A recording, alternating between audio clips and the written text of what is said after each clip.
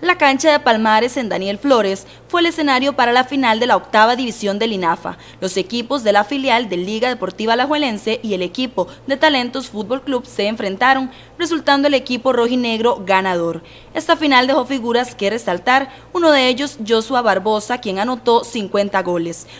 Eh, sí, fue muy importante, nada más que no pudimos sacar la victoria y me siento muy bien por haber metido tantos goles.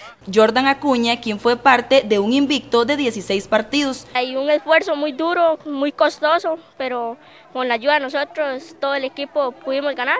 Muy nerviosos, pero sabíamos que íbamos a ir con todo, entonces íbamos tranquilos.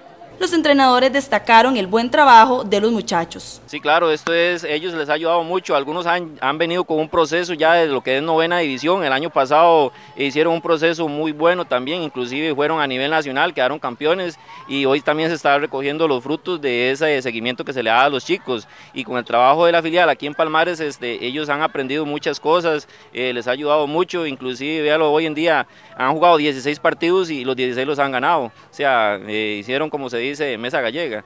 Entonces, este, es un proceso que se va trabajando, gracias a Dios, este, se está trabajando bien y eso es lo que interesa. El proceso que tuvieron el año pasado a nivel nacional les ayudó que inclusive, eh, lo voy a decir así, en partidos amistosos solo, eh, solo tuvieron un empate. Entonces, ese proceso que ellos traen les ha ayudado mucho les han ayudado mucho a madurar.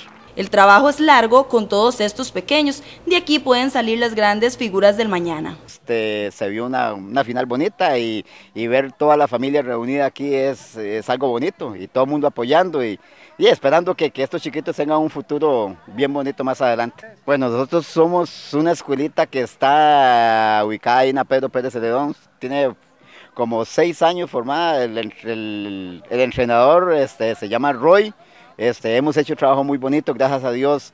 Hemos ido casi a todas las finales y hoy no se nos dio, pero hoy vendrán otras y felicitar a los chiquitos de la liga que realmente jugaron muy muy bien. Un evento que pone de manifiesto el talento de los niños de Pérez Celedón en la cancha de fútbol.